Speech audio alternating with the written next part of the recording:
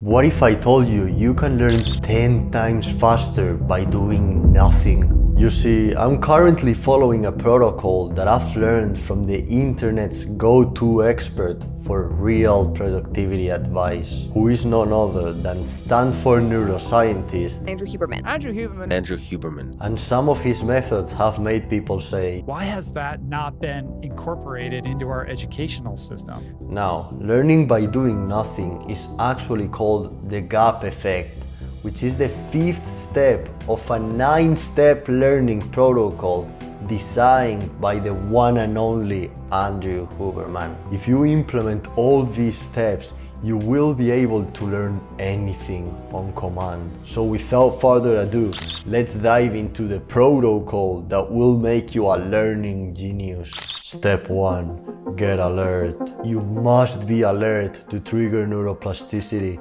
which is what will ultimately lead you to learning new things. And one of the simplest ways to become more alert is to take 25 to 30 deep breaths, inhaling through your nose and exhaling through your mouth. Then exhale all the air and hold your breath with lungs empty for 15 to 60 seconds. Lastly, inhale once and hold your breath.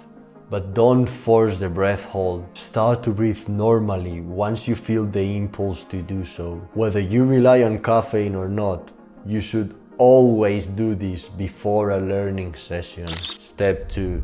Get focused. Mental focus follows visual focus. To increase the level of focus on the task you're about to do, stare at a point on a wall, screen or object for 30 to 60 seconds. You can blink if you need so. You'll be surprised how this takes a bit of effort, but it will pay off with focus once you start the learning session. Maybe I'm pointing out the obvious, but turn off your phone, leave it out of the room, and remove any potential distractions beforehand. Step 3 Generate repetitions. Perform the maximum numbers of repetitions you can in a given learning session. For something like music, it might be as straightforward as playing a song for as many times as possible. But for something like reading, repetition might be reading as many pages as possible. Always try to repeat the process a bit faster than you're accustomed to. This will help you avoid getting distracted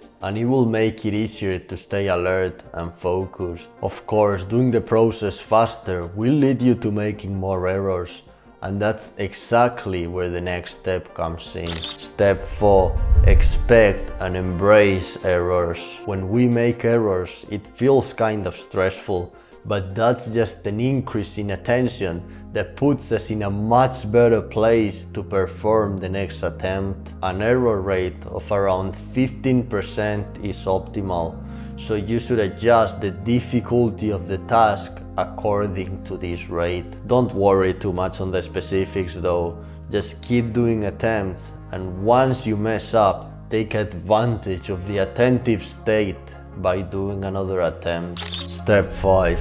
Insert micro rest intervals. This is what I said in the intro that you can learn by doing nothing, which isn't really something obvious, but it's a way to increase repetitions and learn faster. Studies done in humans have shown that when we're trying to learn something, if we stop every so often for 10 seconds and do nothing during the pause, we get 10 times as many neural repetitions. This means that during the short pause, we learn 10 times faster. These so-called gap effects are similar to what happens in a deep sleep, so you should randomly introduce 10 second pauses while learning at a rate of around 30 pauses per hour. Step 6. Use random intermittent reward. Rewards are closely linked to motivation and desire to pursue things, including learning. But the question is,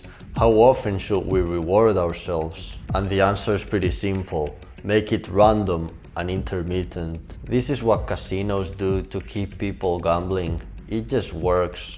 Predictable rewards lose their motivational impact quickly. Step 7. Limit learning sessions to 90 minutes. There's solid research showing that 90 minutes is about the longest period we can expect to maintain intense focus and effort toward learning. You can have shorter sessions as well, but after 90 minutes you should take a break. Also, try to space the learning sessions at least two or three hours apart. After a learning bout, do an NSDR protocol. Two studies done in the last two years show that shallow naps and NSDR can enhance the rate and depth of learning. This is an easy practice to incorporate. With it one hour of completing a learning session, do a short NSDR protocol. NSDR stands for Non-Sleep Deep Rest.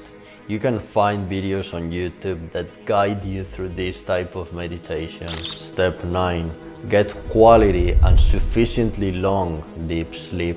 The actual rewiring of the neural circuits occurs during sleep and NSDR. Think of the learning sessions as the trigger to learn but sleep and NSDR is when the actual learning occurs. Sleep is pretty complex to master in it of itself, so I'll probably make a video about it in the future. But you already know the basics, try to get enough hours of sleep. Congratulations, you reached the end of the video and learned the 9-step protocol that will enhance your learning. I hope you found this video valuable. Good luck!